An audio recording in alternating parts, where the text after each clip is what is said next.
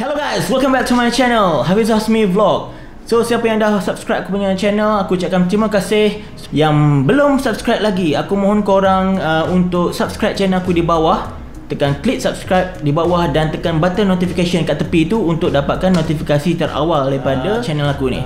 Okay, so hari ni aku nak bincang pasal YouTube monetizing. Maksudnya macam mana kau nak daftar uh, Google AdSense Uh, pada channel YouTube kau. Dengan kata lain macam mana kau nak dapat duit daripada channel kau lah. Okay so pada tahun 2020 ni dah ada perubahan sikit dalam sistem YouTube. Untuk channel aku yang ni uh, Yang ni belum cukup syarat lagi. Jadi aku akan tunjuk sebelum channel ni dimonetize. Seperti yang kau akan tengok kat depan Subscriber sekarang adalah 628 subscriber. Video pertama setelah uh, mencukupi 1000 subscriber nanti Aku akan bagi giveaway. Mungkin uh, dalam bentuk to nine ataupun gadget-gadget yang bernilai mungkin dalam RM1000 nanti. So jangan lepaskan peluang ni. Okay, jangan lepaskan peluang ni untuk dapatkan giveaway sebanyak RM1000 atau gadget-gadget. Okay, so pastikan korang klik subscribe dulu. Okay, so hari ni kita akan bincang topik macam mana channel YouTube ni nak monetize. Maksudnya bila kau dah cukup syarat, macam mana kau nak generate duit daripada channel YouTube korang ni. Okay, so sekarang kat depan aku adalah channel yang YouTube aku yang masih belum cukup 1000 subscriber lagi. Dan kita pergi kepada mana? Kita akan pergi kepada YouTube Studio. So korang boleh klik dekat YouTube Studio tu. Klik. So dia akan bawa satu paparan kau punya channel dashboard. Kat sini channel dashboard ni kat tepi tu kau akan dapat tengok dashboard video playlist analitik. So macam mana kau nak tahu yang channel kau ni sudah cukup syarat untuk monetize? Kau pergi kepada yang tepi ni yang logo duit ni eh yang ikon duit ni monetization ha ni. Kau pergi kat logo duit ni kau klik.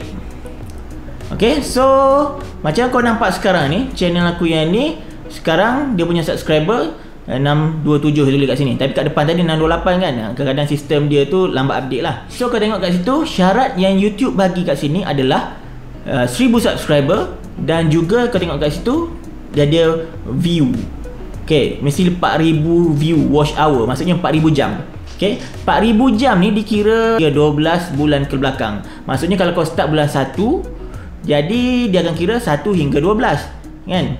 Maksudnya daripada bulan 12 tu dia akan undur belakang sampai bulan 1 Jika kau start bulan 2 Maksudnya hingga bulan 1 tahun depan Kalau start bulan 3 dia akan anjak lagi Anjak lagi Maksudnya 12 bulan ke belakang Dia punya calculation dia macam tu So dia bukan uh, Masuk je tahun depan terus zero balik bukan macam tu. Okay, kenapa dia buat macam tu tu? Sebabnya dia nak tengok korang buat konsisten tak kau punya video.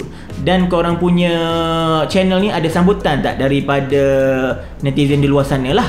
Uh, YouTube ni kau tahu lah dia punya bisnes dia dari segi iklan.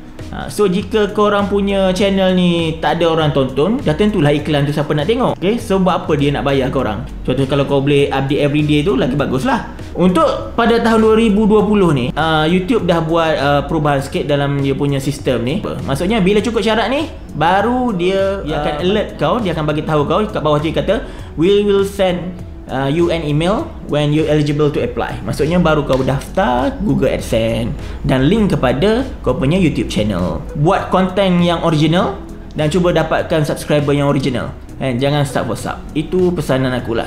Jumpa lagi next video untuk YouTube TNT. Tips and trick. Bye-bye.